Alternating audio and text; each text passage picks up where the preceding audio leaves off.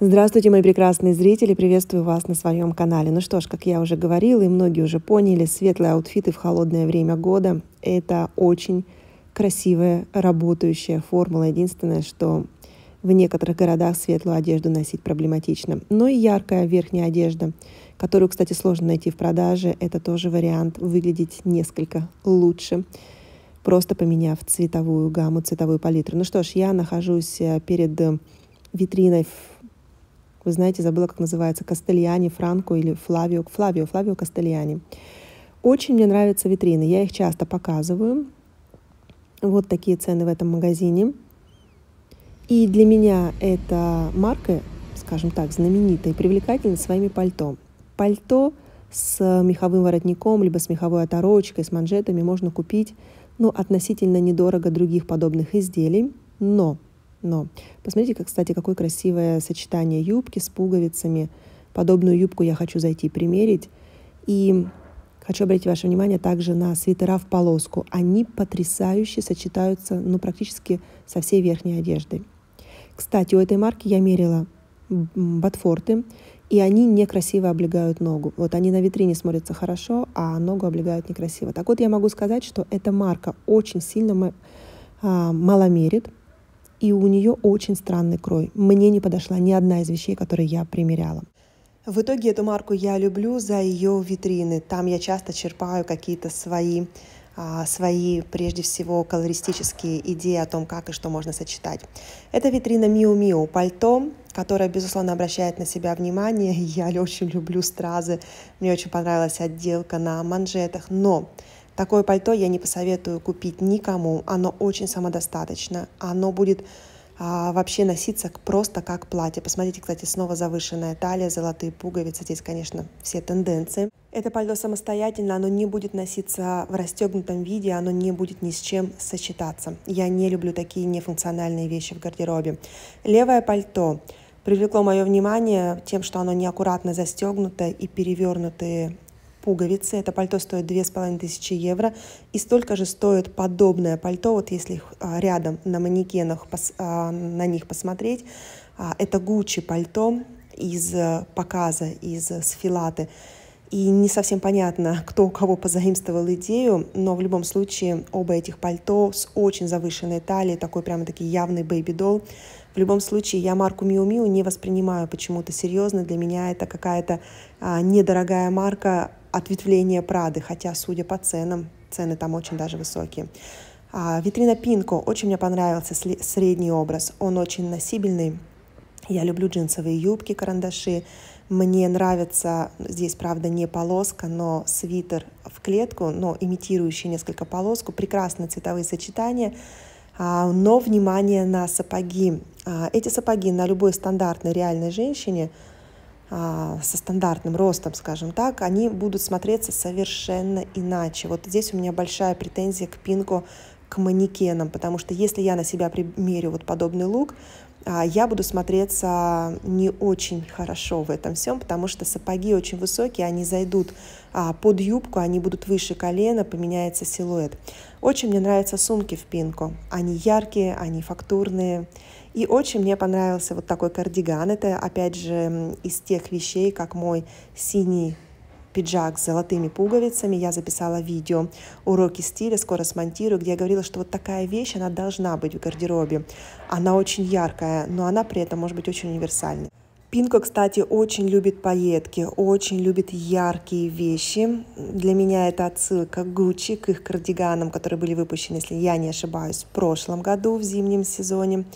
И, кстати, принт похожий. Повторюсь, лук э, с джинсовой юбкой, наличие ремня, цепи мне очень понравился. Кстати, вот носки с люрексом. Пинка традиционно хорошо оформляет э, свои витрины при помощи цветных колготок.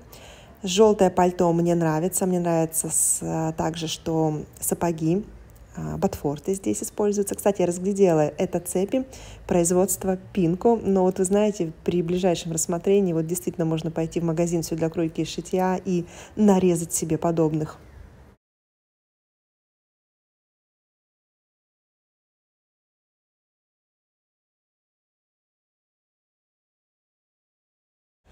Следующая витрина это Луиза Спаньоли. Традиционно мне нравятся их витрины, но у меня нет ни одной вещи этой марки, она мне совершенно не подходит. Эта марка, кстати, очень сильно большемерит. Мне больше всего понравился образ со шляпой, с пальто, с белым свитером и с шортами. Бермуды шорты очень популярны в Италии. Их предлагают нам второй год подряд, второй холодный сезон подряд. Повторюсь, образ с бермудами мне понравился больше всего. Обращает на себя внимание, не зря это центральный манекен, а, вот эта композиция. Но у меня большие претензии и вопросы вот к такой фактуре свитера – а, все цепляется. Вот все, что есть светлое вокруг, все прицепится на такую фактуру. И брюки. Вот к брюкам у меня очень большая, опять же, претензия, потому что эти брюки кажутся прямыми, таковыми не являются. Если мы посмотрим на них а, сбоку, и есть такая возможность, мы увидим по рисунку. Кстати, рисунок идеально совмещен. Посмотрите, какая красота. Так вот, мы увидим, что эти брюки, они не прямые, они слегка заужаются. За счет этого заужения я заметила, даже на манекене имеется огромный относительно манекена худого и стройного пузырь в районе попы. И вот эти брюки очень странно смотрятся также и фронтально. Они больше похожи на трубы. И такие брюки, как если вы примерите, скорее всего, вы не захотите их покупать. Опять же, необходимо принимать во внимание рост манекена и его измененные пропорции тела. У манекенов очень длинные ноги. И здесь тоже хочу вас предостеречь от э, вот такой ловушки. Часто, когда мы видим одежду на манекенах, нам очень нравится. Мы несем в примерку, на нас смотрится иначе, но мы видим себя через призму того, что мы увидели на витрине. Мы видим ту композицию, которую мы увидели, хотя собираемся покупать всего лишь одну вещь. И мы видим зачастую те пропорции, которые мы увидели на манекене, и не можем трезво оценить то, как мы выглядим в зеркале. Ну что ж, а, еще одна витрина этой же марки. Спокойно я к ней отношусь, покажу вам. Мне ничего здесь не нравится, потому что, на мой взгляд, вот все эти композиции будут прибавлять возраста любой из нас. Кстати, опять же, на длину платья, внимание, если я надену это платье, оно будет слегка ниже колена. Другая витрина, напротив, мне понравилась очень. Я считаю, подобные образы подойдут любой из нас.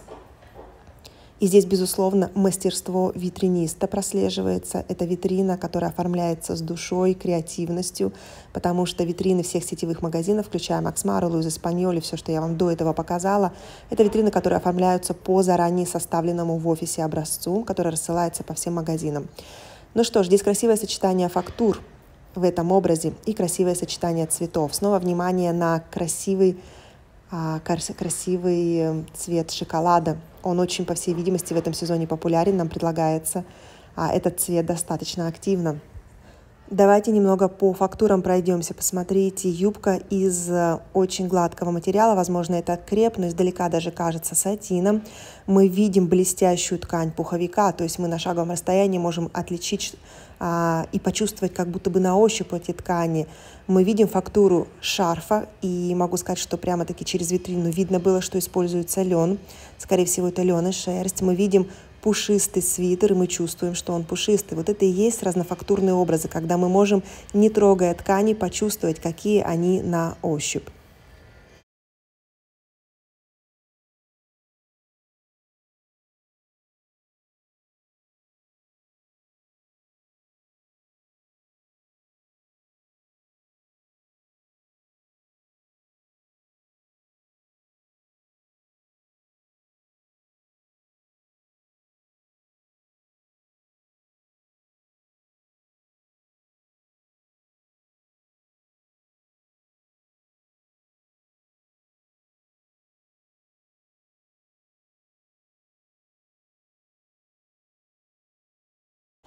Следующие витрины – это витрины очень дорогого магазина. Хочу обратить ваше внимание на платок, повязанный на crossbody bag. Именно за таким образом, из-за такого размера платок повязанный на моей crossbody bag, я получаю много комментариев негативных. Могу сказать, что я восхищаюсь работой витриниста этого магазина, потому что эти витрины, безусловно, оформляются с точки зрения а, визуального мерчендайзинга, когда нужно продать как можно больше, показать как можно больше. Все эти образы я считаю абсолютно неносибельными и не подходящими конкретной женщине, потому что Как я однажды прочитала про работу Марка Джейкобса в Луи Вуитон марке, было написано, что одежда, которую он создавал для Луи Вуитон, это одежда, в которой женщину было не видно, но издалека ты видел одежду, издалека ты видел костюм, юбку, платье Луи Вуитон. Вот здесь такая же история. Этой одежды слишком много, а вот человека в ней, в данном случае это женская одежда, поэтому женщина – будет не видно. Очень много принтов, очень много фактур, очень много деталей. Посмотрите, люрикс, всего очень много. И это правильно предложить нам так много товара, который может нас заинтересовать на одном манекене, чтобы мы зашли в этот магазин и захотели посмотреть вот то и вот это. Кстати, я очень не люблю, когда неровно висят сумки, а, неровно застегнуты пуговицы. Я считаю, что это прямо-таки недопустимый недочет для витрин действительно дорогих магазинов. Баленсиага очень маленькая сумочка, не нравится мне такой формат. Хотела руку свою показать, чтобы вы посмотрели, насколько маленькая, но не удалось. Уже комментировала подобные босоножки, яркие босоножки плюс яркий носок. Идея мне понравилась. И вот эта манекенная группа, это, наверное, единственное, что мне понравилось, я бы сказала, ну да, это можно носить, но и то, наверное, только вот центральный образ – это джинсы плюс э, шифоновая блуза, рубашка – и мне стал очень нравиться необработанный край на вот таких темных синих джинсах. Я обращаю внимание всегда на стрит-стайлерах, смотрится почему-то очень хорошо, красиво. Возможно, из-за того, что вот эти белые нитки добавляют некой контрастности образу а на фоне, возможно, темной обуви. Да, центральный образ мне понравился, но, опять же, такой образ нужно уметь носить. Он очень яркий. У тебя должно быть все в порядке с фигурой, с волосами, с ногтями, с прической, с кожей, чтобы вот так активно обращать на себя внимание. И, кстати, я часто вижу женщин, девушек, а, вот в таких а, очень ярких, активных компоновках. И я вижу, что им некомфортно такую одежду, она может тебе нравиться, но к тому, что это тебе идет, это тебе нравится, нужно еще действительно а, приложить умение в этом себя комфортно ощущать. Вот для меня стопроцентная красота — это вот, например, этот образ, это витрина Макс Мары, белая рубашка либо белая блуза плюс черное пальто, возможно, черный пиджак под черное пальто поверх белой рубашки. Это абсолютная красота для меня, женственность, стиль элегантность. Не могла не показать вам еще раз витрину Марина Ринальди. Сейчас следующая витрина будет снова Макс Мара. И Марина Ринальди представила вариацию на тему Тедди, пальто Тедди. И сейчас я покажу вам, как в этом сезоне выглядит пальто Тедди Макс Мара. И оно выглядит абсолютно идентично тому, как выглядело в прошлом сезоне. И, на мой взгляд, это ошибка Макс Мары. На мой взгляд, следовало бы слегка изменить силуэт этого пальто. Но не покупается он, не носится все цветные вариации с показа, со сфилатом, все это уходит в стоки. Не пользуется популярностью пальто Тедди, потому что оно не украшает женщину. За цену в 1850 евро, именно столько стоит в этом сезоне это пальто. Это не та вещь, которая тебя на эти деньги украсит. Очень мне нравятся удлиненные пиджаки у Макс Мара. Очень мне нравится решение белая рубашка, либо белая блуза под пиджак, либо под пальто. Макс Мара активно используют этот именно трюк. Он потрясающе работает, он создает нужную контрастность, он создает э, нужную, э, нужную, не могу сказать как, то есть собирает силуэт, собирает образ. Платье тоже мне очень понравилось, единственное, что оно длинновато. Вот оно на самом деле должно смотреться как мини, а в итоге оно длинновато на реальной женщине, оно будет э, иметь длину по середину колена. Э, очень изменены пропорции в манекенах э, Макс Мары, которые она использует для себя.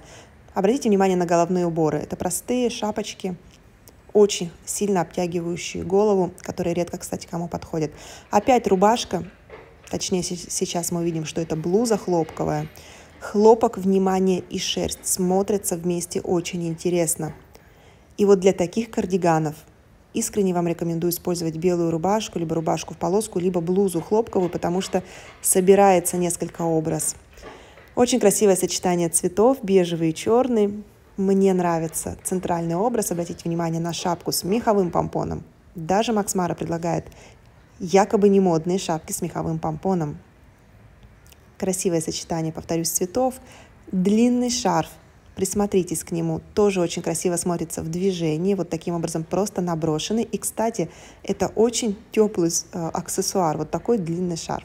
Мне нравится правая правый, да, правый манекен, правая композиция.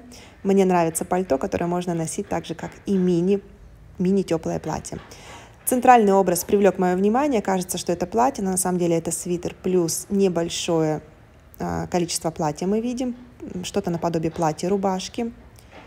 И я уже говорила, что подобные свитера я не рекомендую никому покупать. У меня их было огромное количество, у них очень сильно вытягивается попа. Каждый раз, когда мы садимся, встаем, садимся, встаем, потом не помогает даже никакая стирка, эти вещи очень сильно деформируются, хотя в примерке они смотрятся прекрасно. Ну что ж, мои хорошие, прекрасные зрители, на этом с вами я прощаюсь. Увидимся очень скоро. Это была Яна Скворцова. Всем пока-пока.